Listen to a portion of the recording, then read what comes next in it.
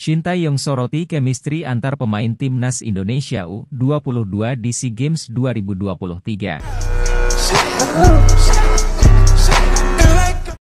Pelatih timnas Indonesia Shin Tae-yong menilai chemistry antar pemain timnas Indonesia U22 semakin membaik di SEA Games 2023. Hal tersebut tentu menjadi modal bagus untuk mewujudkan ambisi anak asuhan Indra Syafri meraih medali emas di ajang SEA Games kali ini. Skuad Garuda Nusantara, julukan Timnas Indonesia U22, saat ini belum terkalahkan dalam babak penyisihan grup ASI Games 2023.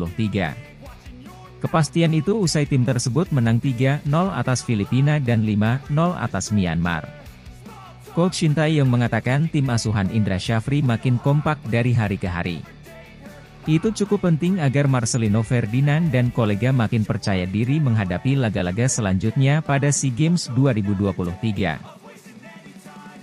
Dari tiap pertandingan, pemain chemistry-nya makin baik, ucap Shin Tae-yong.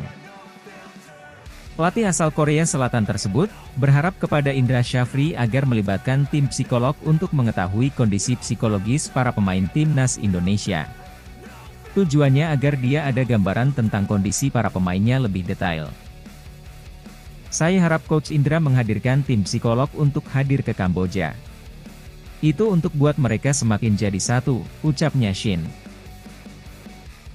Shin Tae-yong mengatakan psikolog juga berperan untuk meningkatkan mentalitas para pemain supaya tampil menggila di lapangan. Alhasil, timnas Indonesia U22 akan selalu siap menatap laga siapa pun lawannya. Indra Syafri pastikan anak asuhnya selalu bugar di ajang SEA Games kali ini. Pelatih timnas Indonesia U22, Indra Syafri, memastikan semua anak asuhnya dalam kondisi bugar dan tidak ada yang cedera jelang lanjutan fase grup cabur sepak bola SEA Games 2023.